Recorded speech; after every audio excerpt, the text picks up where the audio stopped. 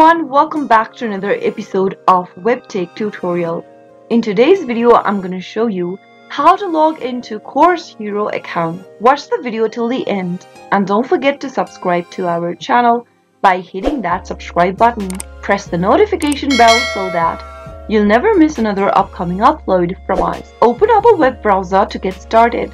Once you do that, go to the URL box at the top and type in www.coursehero.com and press enter on a keyboard. Once you end up in the official site of Course Hero, which looks like this, click on the login button at the top right hand corner to end up in the login area. If you don't have an account yet, you can click on the sign up link and register first for a new account. To log into an existing account, you can either use your Google account, Facebook, or continue logging in with your Apple account. But if you've selected the email address and password option while signing up for your Course Hero account, then you need to choose the same process here as well. Simply go ahead and enter your registered email address for Course Hero into the email address text box. On the next field, enter your password for your account.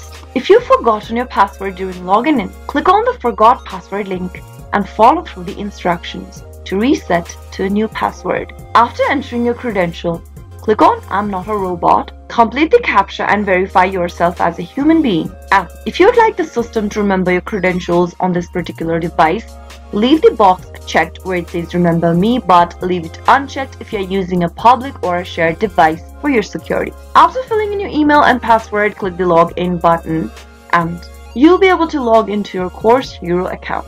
Course Hero is a digital learning platform which offers study resources including practice problem, study guides to students. The platform is available through a paid membership or through the purchase of individual documents. That is how you can easily log into your Course Hero account. I hope the tutorial was helpful to you. If it was, go ahead and give us a thumbs up.